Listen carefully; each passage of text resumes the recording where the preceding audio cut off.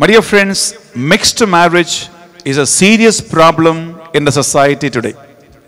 మతాంతర వివాహం మన సమాజంలో ఇప్పుడు ఒక పెద్ద సమస్యగా మారింది. ఎంతో మంది తల్లిదండ్రులు ఇబ్బందులో ఉన్నారు.